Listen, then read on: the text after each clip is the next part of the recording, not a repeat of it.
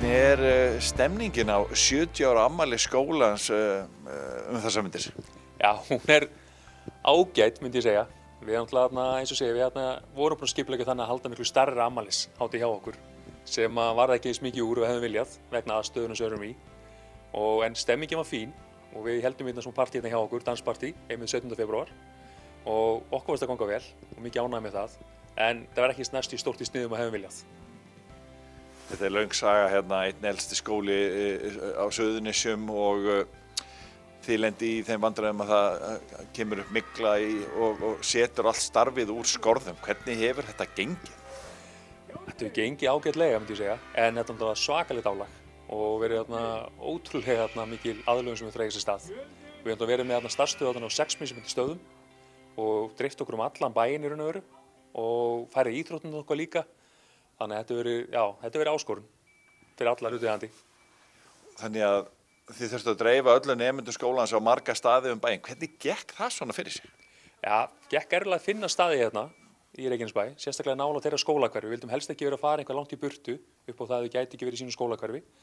En það hafðist á lokum, en rýminu eru fyrir lítil sem við erum í hverjum stað. Þannig að þetta eru svona 1 til 3 árgangar á hverjum stað fyrir sig. Og ekki bara kannski erfitt fyrir krakkana, heldur líka fyrir náttúrulega starfsfólkin, hérna kennarana og starfsliðið. Já, sko, góð er náttúrulega að nefndunir upplifið þetta mjög jákvægt og það er alveg bara kvartileg ekki neitt, það að vera spennandi og nýjar aðstæður og svo leiðis. Þetta er reynd miklu meir á starfsfólki okkar, mjög meir.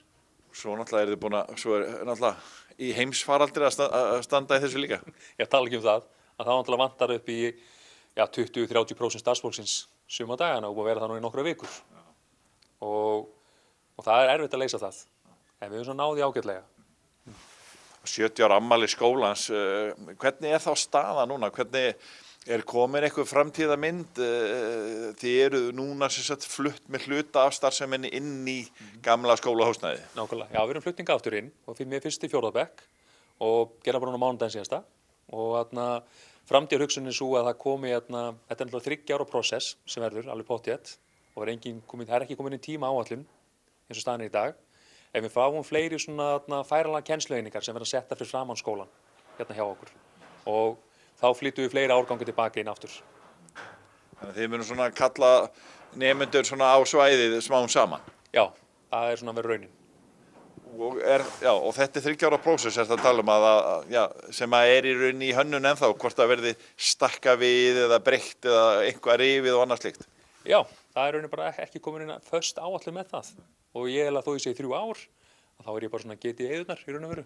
Það er ekki komin eitthvað alveg fast fyrir því miður en það verður einhvað rifið og það verður einhvað bætt við og svo endur nýjað og rauninni endur skipulagt með þarna, já bara nútíma kjænslaháttum. Hvernig hefur starfsfólki svona uh, gengið? Það reynir náttúrulega örgulega talsveit á það þegar það er að finnast mikla í húsnæði sem það er að starfi í. Já, það var náttúrulega Og náttúrulega nefndur líka. Já, já, bæði nefnendur og starfsfólk hjá okkur, reynda meirum starfsfólk, það er fundið fyrir einkennum af miklunni og það er náttúrulega grundur fyrir að vera með flytja í burtu upphálega og sangatundur rannsóknum, þá er náttúrulega mjög fáið sem eru með óðrum með fyrir þessu en allt um þetta fjórðungu starfsfólks hjá okkur hefur verið að finna fyrir einkennum. Hvernig uh, horfið þið á svona framtíðina? Þú veist, þetta verður bara að halda áfram og, og, og, og, og berjast eða ekki? Það er ekkert annað í stöðinu bara. Það er bara svo leiðis og við erum frekar jákvæði hérna, finnst mér, og við erum tilbúin í hérna, þessi áskorandi verkefni hjá okkur, þessi krefandi verkefni og við vinnum úr þeim bara eins vel og við getum. Það hefur tekist vel hingað til og vonandi verða það áfram.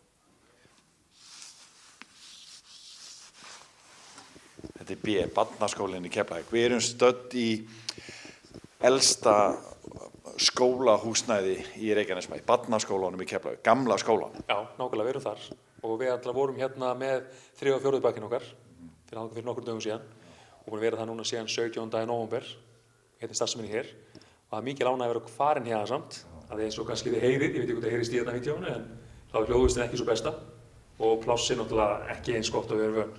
Þetta er alltaf bara mjög gamlar kröfur þegar það var reistur skóli hérna í Engalanda. Já, nákvæmlega allt aðra kröfur og allt þessi kennslu hættir sem voru í gangi á þeim tíma.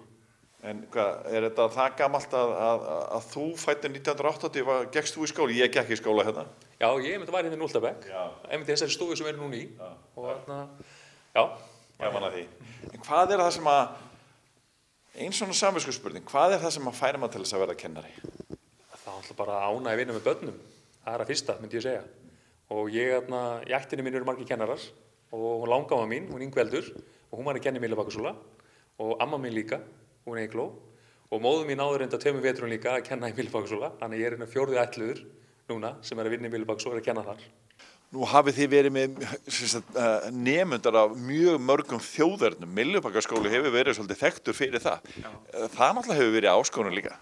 Já, mjög mikil áskorun. En hann tala upp undir hvað 42% nefndi hjá okkur, Eldurbergi og þar er kringu 30% sem fá kennslu sem íslensmann tungumál og við á háleituskóli erum sem er sérstu hérna í Reykjanesbæ, varandi fjöldana þeir nefndum og það er bara frábært að vera með þau, það skapar okkur flóru hjá okkur og, atna, og mismyndi menningar heimar og þannig að ég mjög staðurinn er bara jákvætt að vera með að fjölda hjá okkur. Er það, gerir það starf kennarana erfiðara? Það gerir það náttúrulega að þú þarfst að gera ráð fyrir mismundi börnum hjá okkur sem eru kannski ekki komið langt í íslenskunni, það er ekki ráð fyrir þeim. Þannig að við reynum að vera með svona námsver, svona fjölþauver hjá okkur sem að þessi börn er að fá svona kennslun og það er aðalega, ásamt því að vera inn í bekk líka. Þetta heitir reikningur þegar ég var ungur maður? Já, þetta heitir bara reikningur, núna heitir þetta allt. Já. En þetta er rosa flott í krakka. Og hvað eru þið búin að læra? Er þið að læra markföldun og töfluna? Já, eru þið í því? Við erum að alla markföldun og töfluna. Hvað eru þið komið langt? Við erum með þarna... Sumir eru komin með alveg upp í tíu svona. Já. Já. En sumir eru komin aðeins stýttra, það er bara svona, þau eru að vinna í þessu. Já. Miðbakaskóli er bestur! Sigurður Ingemyndarsson, hvað er langt síðan þú byrjar að kenna í Millibakaskóla? Mástu það? Það er ansið langt, ég mannaði ekki alveg, en ég held að það sé komið nála 30 árum. Hefur mikið breyst í, í, í kennslunni?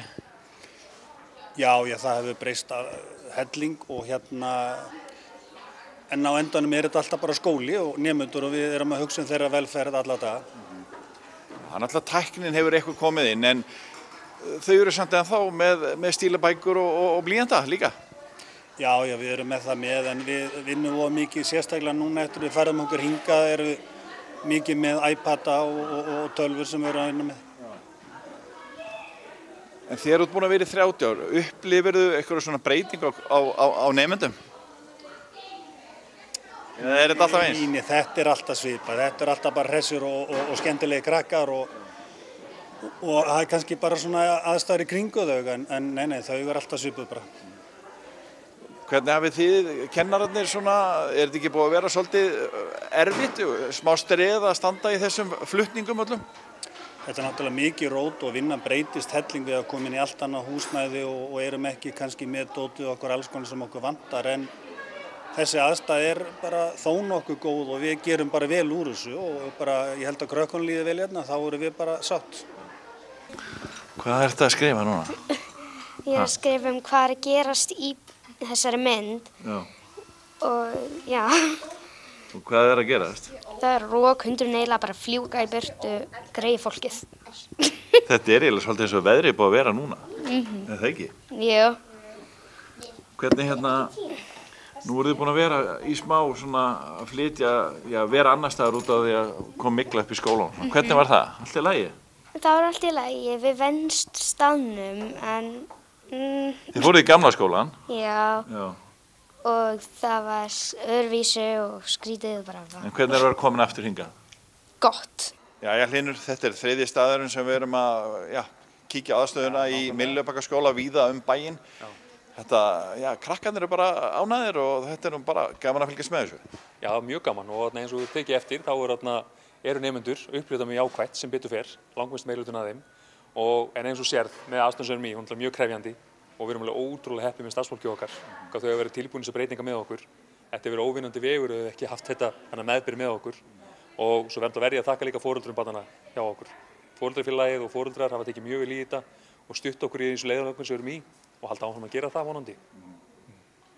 Við erum búin að hitta nokkra kennara og, og, og, og ég sem er svona, já, komin yfir, erum miðanaldar, þekki nú all nokkra hérna og þannig að það eru nokkra kennara hérna með nokkra ára tíja baki. Það er mikið af fólki sem búin að vera lengi í skólanum að, við, við kennslu.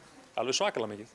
En svo ég byrjaði hérna fyrir núna rúmum tíu árum síðan að þá voru hérna öllir eldri kennararnir sem kendu þarna móðu minni til dæmis í skóla líka og þannig að starfsaldur millibókslega er frekar langur og þeir sem byrja þarna hjá okkur hafa ennst alltaf langan tíma og það er úrslega jákvæmt líka, það gefur bara til kynna hvað andin er góður hjá okkur og rauninni hvað þetta er samildin hópur